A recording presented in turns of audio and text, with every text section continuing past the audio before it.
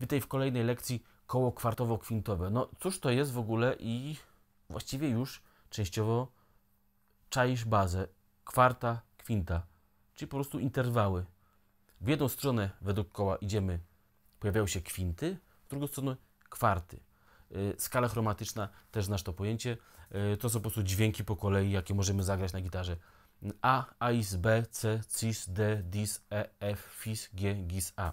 I koło kwartowo-kwintowe służy przede wszystkim do ogrywania poszczególnych tonacji, do ogrywania poszczególnych akordów, do ćwiczenia, do ogrywania y, zagrywek, solówek, właśnie y, idąc kwartami, kwintami, bo my możemy na przykład, mamy jakąś melodyjkę, mogę na przykład sobie grać, no teraz gram od G, no to zagram od GIS. Później A. Później AIS. B. I idzie sobie skakać. Możemy sobie skakać po prostu dowolnie, prawda? Yy, mamy jakiś akord, na przykład G, no to mogę sobie na przykład zagrać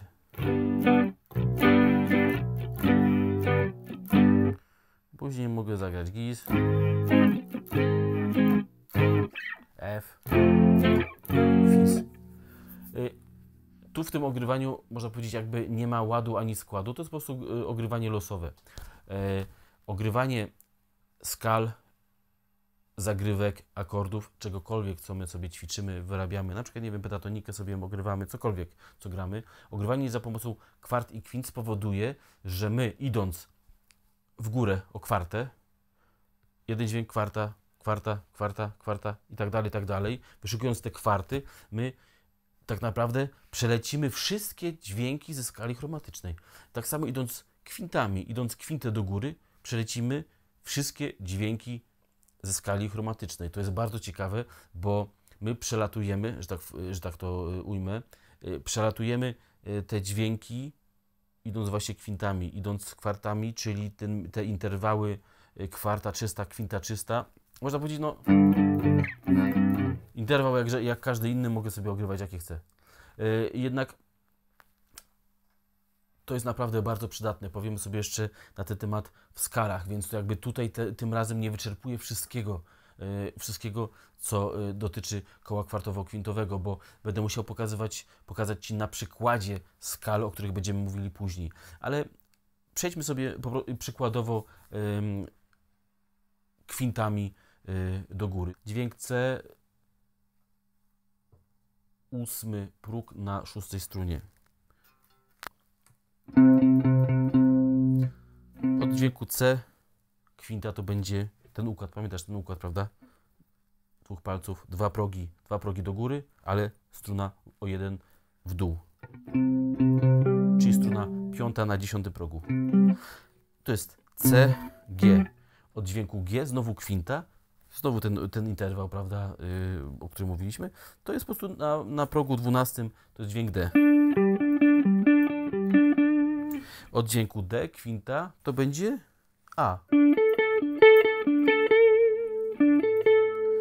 Tu już zaczynamy dochodzić do wysokich tych dźwięków. Mogę sobie się, y, mogę się przenieść teraz. Mam y, dźwięk A. Dźwięk A jest też na strunie najgrubszej, na piątym progu. I kwinta od niego to jest E.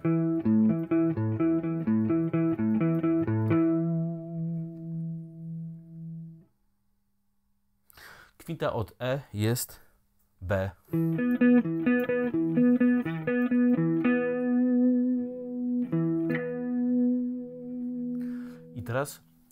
troszeczkę się zaczną schody, gdyż od B pamiętaj, jak, pamiętasz jak mówiliśmy yy, i musisz to pamiętać, że yy, kwinta, czyli pięć dźwięków, czyli jeżeli mam dźwięk B, B, C, D, E, F.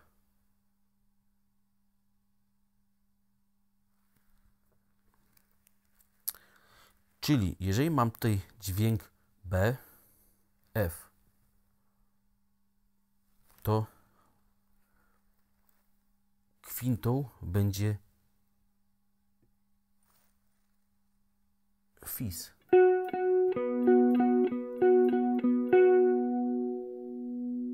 Lub ges.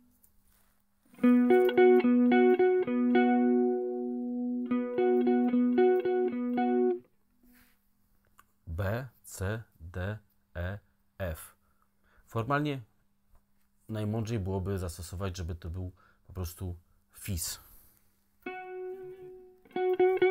Od dźwięku fis, mogę sobie przejść, bo tutaj wiesz, doszedł na trzeciej stronie. Od dźwięku fis na drugim progu strona najgrubsza szósta.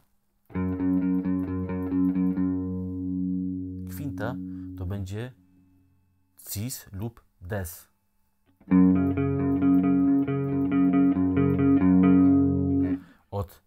Cis lub des, bo to jeszcze sobie powiemy, w zależności jaka tam skala wychodzi, prawda?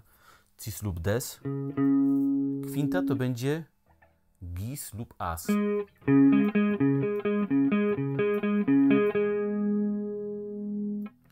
Od tego as albo gis. Kwinta to będzie des lub s. Y, dis lub s. Już te sy, sy, sy można się pomylić. Dis lub s, prawda? To mamy te dwa.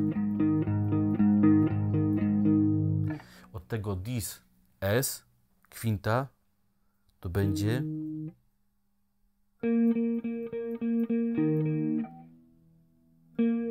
ais lub bez.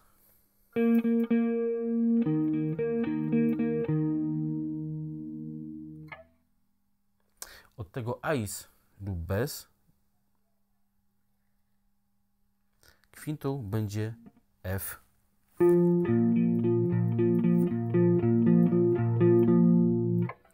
Od F kwitą będzie C. Czyli przeszliśmy przez wszystkie dźwięki skacząc o y, interwał kwinty. Niesamowite, prawda? Że po prostu my w ten sposób możemy, możemy dojść do, do, tego samego, do tego samego dźwięku, grając naprawdę skacząc o interwał kwinty. Z kwartą będzie bardzo podobnie, bo na przykład jeżeli mamy, zaczynamy od C, od C kwarta, to pamiętasz ten układ C, F. Od F będzie bez bemolem lub ais.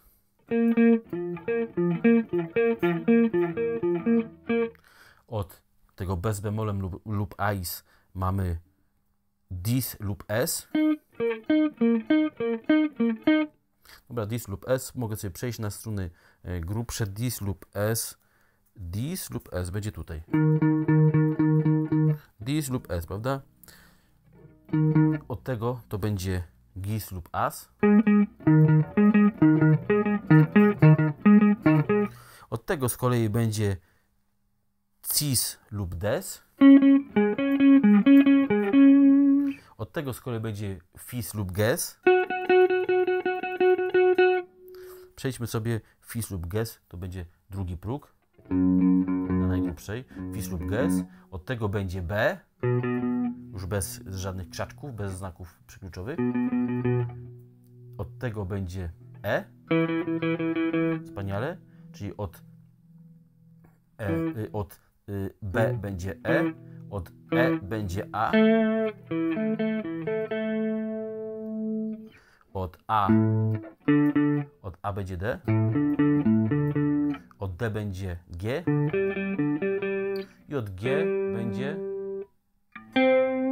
C. Czyli znowu przeszliśmy do dźwięku C. Yy, Wiem, że możesz się zastanawiać, no ale dobra, ja mógłbym na przykład sobie y, skakać o interwał y, na przykład tercji, że na przykład mam C, później mam yy, E, później mam GIS, później mam yy, C. Przeszedłem tylko cztery dźwięki. A mogę teraz na przykład, dobra, zaraz, zaraz, a mogę na przykład ym, seksta mała. Będę hardcorem seksta mała. Od C. C, seksta mała będzie gis. Od tego będzie seksta mała to będzie E. Od tego będzie C. Więc jakby, no, widzisz, idąc tym, tym, y, tą myślą, to właściwie, jeżeli my chcemy skakać o inne interwały, to w zasadzie nie przelecimy, tak brzydko mówiąc, nie przelecimy wszystkich dźwięków, bo my przechodzimy bardzo szybko po tej, tu po czterech dźwiękach, tu po, po pięciu dźwiękach, przechodzimy z powrotem do, do tego dźwięku wyjściowego. Więc jakby kwarta i kwinta, one, one nam y, ułatwiają przejście po wszystkich dźwiękach, przejście po wszystkich tonacjach w sposób bardzo, można powiedzieć, melodyczny, prawda? Bo możemy robić tak, że mamy jakieś, jakieś melodie, które gra, gramy.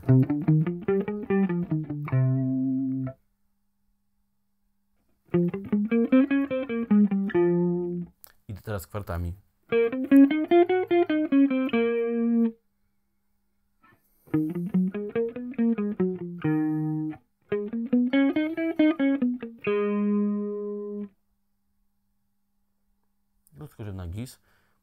Sobie przeskoczyć. Chodzi o to, żeby też przeskakiwać, nie tyle, że idę od tego, od tego, od tego, od tego, od tego, aż przechodzę gdzieś tutaj, prawda? Tutaj męczę, tylko chodzi o to, żeby przeskakiwać po dźwiękach. I to byłoby Twoje zadanie, żeby przećwiczyć, wyszukać kwinty, wyszukać kwarty, wychodząc od dźwięku C to sobie zrób po prostu od C kwinta. I następna kwinta, następna kwinta. Pamiętaj, że między struną drugą a trzecią kwinta to nie jest tak samo jak pomiędzy y, szóstą, piątą, czwartą, trzecią. Prawda? Pamiętaj, na najgrubszej, na trzecim progu, na piątej, na piątym progu jest kwinta, prawda? Jeżeli ja bym chciał zagrać kwintę, ja zawsze sobie robię jeszcze w ten sposób. Co ja tu zapałem teraz? Nie wiem, co ja tu złapałem. Rany, rany bąbel, nie wiem, co ja tu złapałem. G, D. GD tutaj mam. No to jak teraz mam złapać? Też chcę GD złapać na, na tym. Wiem, że to jest kwinta. To jest kwinta. Dobra, ten układ palców. Y, GD. No to na, na trzeciej i drugiej G jest szerzej. Mamy odległość raz, dwa, trzech progów, a nie raz, dwa, dwóch progów, prawda? Na tym trzeba pamiętać, o tym trzeba bardzo mocno pamiętać. To, jest, to będzie kwinta, a to będzie kwarta.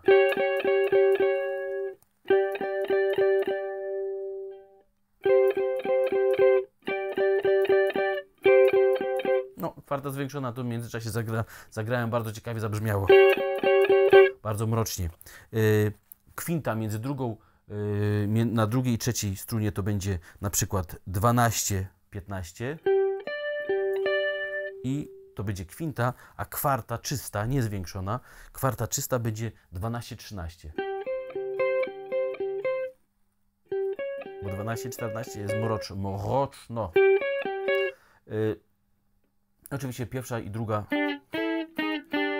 to jest układ tak samo jak na tych, na tych grubszych. Czyli po prostu musimy pamiętać, druga struna i trzecia, struna B i G jest inaczej do łapania. I tutaj trzeba zawsze się, y, zawsze nad tym zastanowić, zawsze pamiętać, że to nie jest to, nie jest to samo co wcześniej. Y, więc Twoim zadaniem byłoby po prostu wyuczenie się tych, y, przejście tych, tych dźwięków po kolei od dźwięku C kwartami, od dźwięku C kwintami. Wiem, że to będzie trudne, wiem, że to będzie bolesne, wiem, że, że będzie, będzie to, ciężko, to ciężko przejść, ale zobaczysz, że to y, jest bardzo pomocne ogólnie przy graniu, przy tworzeniu, y, przy y, ogrywaniu skal. Przekonasz się jeszcze o tym. No i to byłoby na tyle. Siadaj do ćwiczeń, a my się widzimy w następnym module.